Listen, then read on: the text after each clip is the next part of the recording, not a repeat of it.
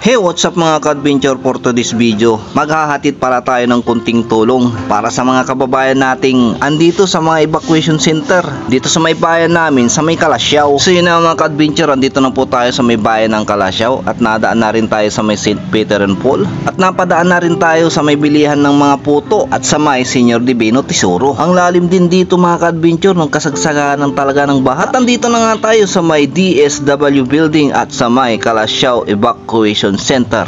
At pagkapasok nga natin sa loob mga ka-adventure, mayroon po tayong mga nakitang volunteer. Good job mga boss madam, pagpatuloy nyo lang po yung pagtulong sa kapwa. So yun nga mga ka-adventure, papasok natin dito sa loob. Nakita agad natin yung ating mga kababayan. Mas marami pa daw sila dito nung talagang kasagsagana ng baha. Nagsiuwian na rin daw yung mga iba kasi humupa na rin yung baha sa kanilang mga bahay-bahay. Kasama nga pala namin dito ang Jesus is Alive Kalasyaw. At sila nga ay naghatid ng salita ng Diyos para sa mga nasalanta. Sa pangunguna ni Pastor Jess Anthony Aquino, si Wow Kalasyaw. At ang kanyang mga kasama, tara pakinggan natin.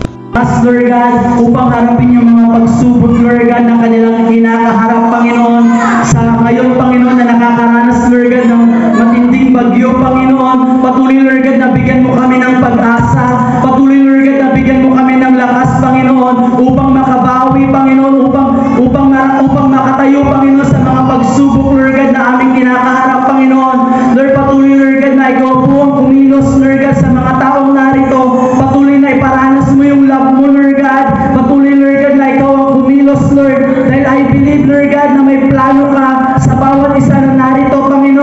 Maraming salamat po sa pagbabahagi ng salita ng Diyos. Bukod sa nabusog ang aming mga tiyan ay nabusog din ang aming espiritual na katawan. Kami lubos na nagpapasalamat sa aming mga sponsor sa mga nagpaabot ng tulong pinansyal. Hindi natin ito magagawa mga ka-adventure kung wala po kayong mga mabubuting loob na tumulong. Andito rin nga pala ang balitang amyanan at nakita ko nga ang idol ng aking misis si Ma'am Claire Lacanilaw. Kaya agad naman tayong nag-selfie.